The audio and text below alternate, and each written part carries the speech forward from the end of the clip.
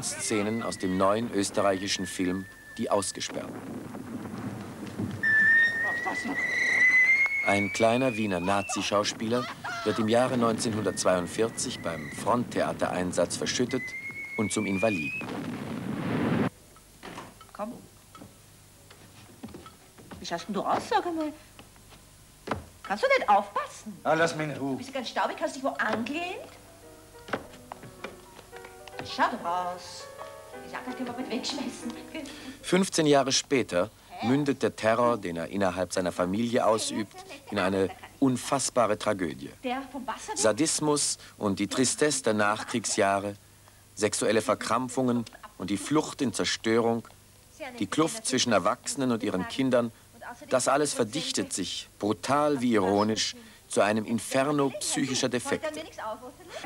Tischlings sitzend auf faulenden Stängeln der Pfauer.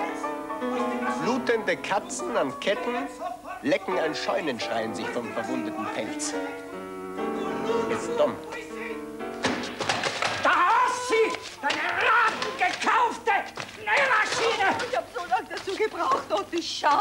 Etwas Selbstgemachtes ist ja viel besser ich... Für deine Liebhaber, du, du Sau, du! Damit sie sich dein Hintern besser anschauen können! Da! Hast dir was ausgesucht? Ich das nicht! Was dein Arsch betont ist! Aber ich bin mit einem Bein noch mehr Mann als deine diversen Fotofreunde! Da! Da!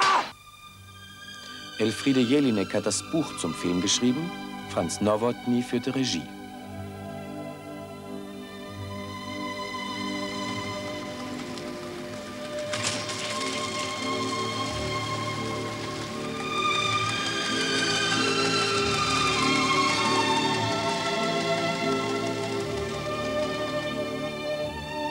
Alexandra Curtis, die Tochter von Christine Kaufmann und Toni Curtis, Paulus Manker, Ursula Knobloch und Karl Kröpfel spielen die Jugendlichen.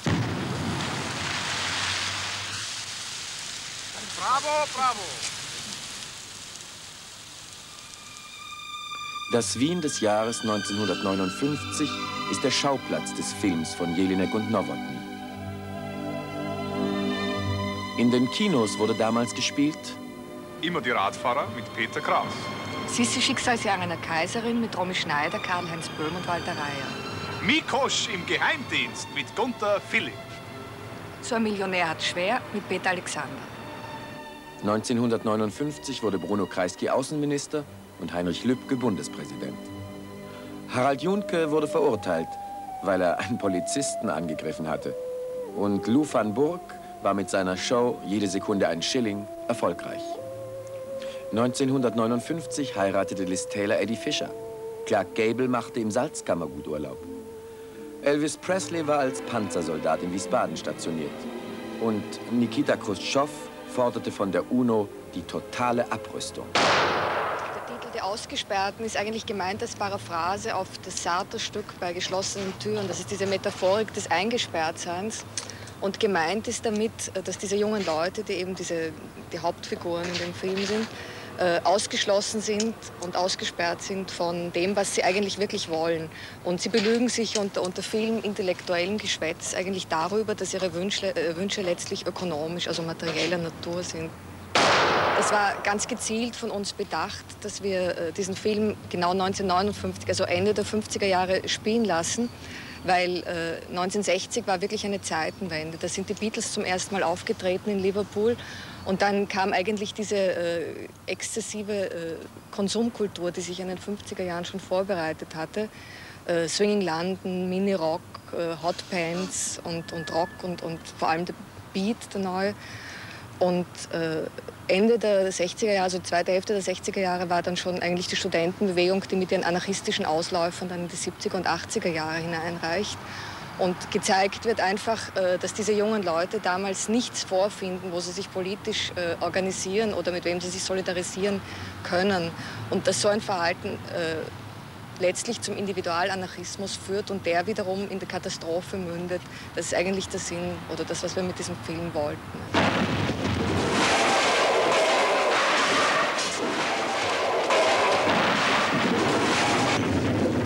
Peter heißt die Hauptfigur im Film Die Ausgesperrten. Ein Jugendlicher, der sich als moralisierender Plauderer gefällt, das wahre, große Verbrechen propagiert, aufsteigen will und die Abhängigkeit vom Vater hasst. Seine Schwächen und Ängste verdrängt er mit Bombenbasteleien und Raubüberfällen. Gemeinsam mit seiner Schwester Anna, ihrem Freund, und mit einer Klassenkollegin bildet er eine Bande, die sogar einen Anschlag auf die Schule verübt. Die Schule ist explodiert. Du, das ist ein Wahnsinn. Schau dir das an, wie die umeinander rennen. Wie die Ameisen. Das Tollste wäre, wenn es ein Bomben war. Das wäre dann einmal wirklich intensiv. Anni, um Gottes Willen, bringt in Sicherheit. Anni, komm. Ja.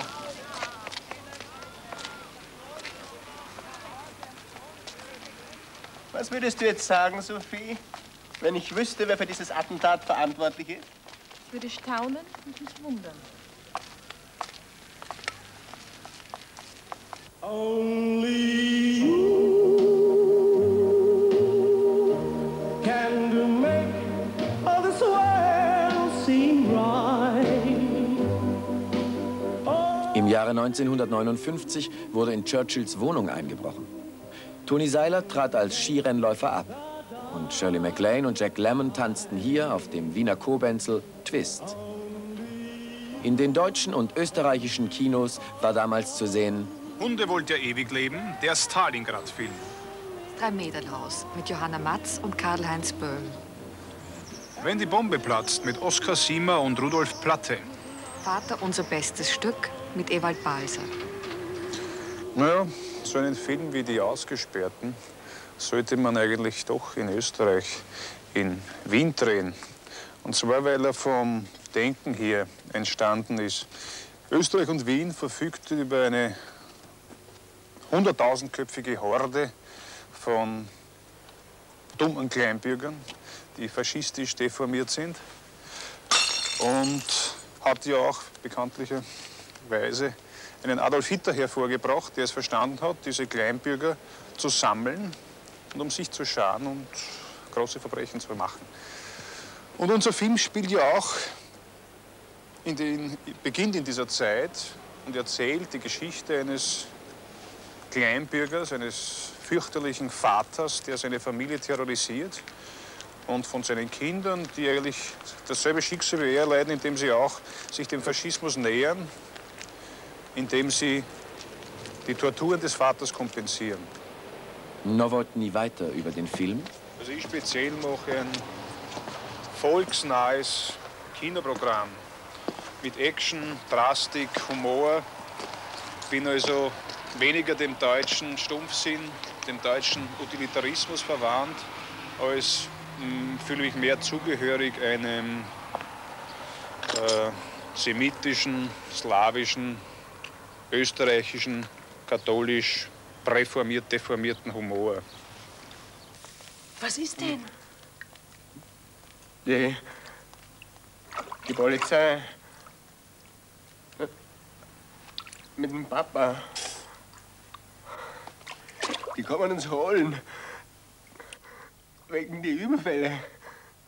Na, was soll man jetzt machen? Anni, Hol die Pistole. na,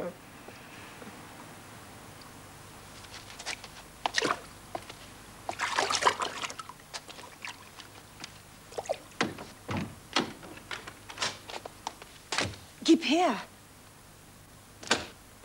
Der Humor, wie Franz Nowotny ihn in seinem Film Die Ausgesperrten offeriert, verläuft, Zitat, kontrapunktisch zum Grauen der Handlung, die ihre Glanzlichter aus der Drastik der Darstellung und Aktion bezieht. Zitat Ende. In dieser Szene entdecken die Jungen Aktfotos, die Vater von Mutter gemacht hat. In demütigenden, quälerischen Posen. In einem gibt es kein Zusperren!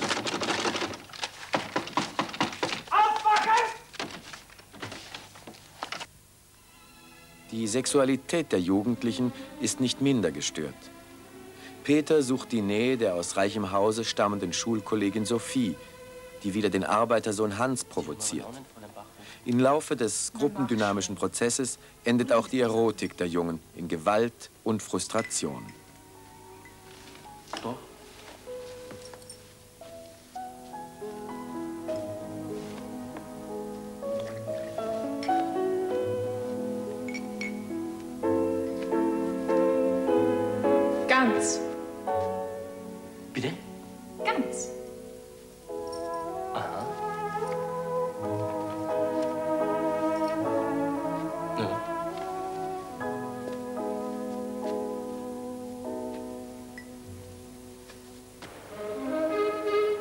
1959 drehte Sophia Loren in Wien den Film Olympia.